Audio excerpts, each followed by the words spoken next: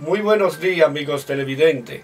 Estamos transmitiendo una vez más por nuestro canal local de Madrid. Creación TV.icono presenta Academia Superior de Medicina Tradicional China, acupuntura, bioenergética y mosibustión para la medicina natural. Hoy tenemos un programa muy especial. Hoy hemos recibido 1332 mensajes. Gracias a ustedes que hacen posible que ese programa se siga transmitiendo todos los días de lunes a viernes. Bien, hay un alumno que estudia medicina tradicional china y envió un mensaje a nuestro correo electrónico.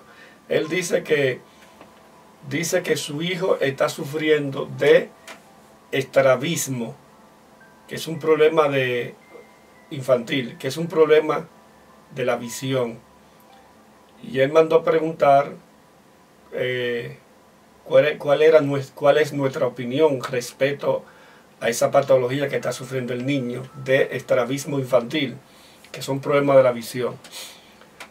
Los médicos de la medicina moderna le, recetan una gafa, otro lo, lo envía a cirugía.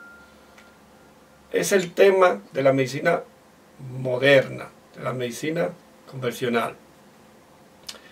La medicina china plantea primeros tres meses de tratamiento, utilizando el punto yin tan. ¿Cuál es el punto yin tan? El punto que está entre medio de las dos cejas. Mírenlo ahí. ¿Eh? Se pellica la piel y se coloca la aguja hacia abajo. Yin tan. También se debe colocar la aguja en el punto 1 de vesícula biliar, punto 1 de vejiga y punto 1 de estómago. Es decir, que aquí hay tres puntos alrededor del ojo más yin tan, pellicando aquí, entre medio de las dos cejas, y se coloca la aguja hacia abajo. Vale. El 4 intestino grueso. 36 de estómago.